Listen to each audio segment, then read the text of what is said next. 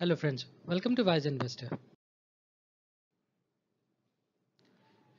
viewers इस video में हम कमर्शियल बैंक सेक्टर से सिल्क बैंक लिमिटेड के हिस्टोरिकल रिटर्न्स का एनालिसिस करेंगे। व्यूअर्स ये बैंक अप्रैल फोर्थ 1994 में इनकॉपरेट हुआ और बैंक कमर्शियल और कंज्यूमर बैंकिंग और उससे रिलेटेड सर्विसेज़ ऑफ़र करता है।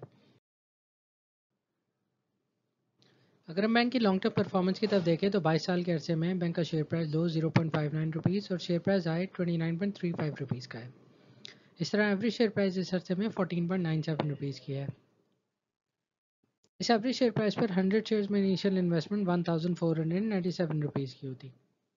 Total cash dividend company bank ने अपने शेयर होल्डर्स को नहीं पे किया और टोटल नंबर ऑफ़ शेयर्स भी हंड्रेड ही हैं।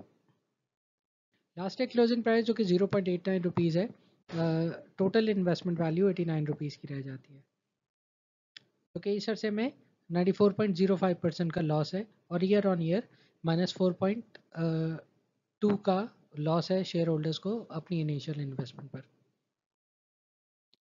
इसी तरह अगर मीडियम टर्म परफॉर्मेंस की तरफ़ देखें तो सूरत हाल इस बैंक की इसी तरह है। दस साल के अरसे में शेयर प्राइस दो zero point five nine rupees और शेयर प्राइस आए two point seven five rupees का है। और एवरेज शेयर प्राइस इस अरसे में one point six seven rupees की है। इस एवरेज शेयर प्राइस पर हंड्रेड शेयर्स में initial investment one sixty seven rupees की है। टोटल कैश डिविडेंड का बैंक ने अपने शेयर होल्डर्स को कोई पे नहीं किया और टोटल नंबर ऑफ़ शेयर्स भी हंड्रेड ही है।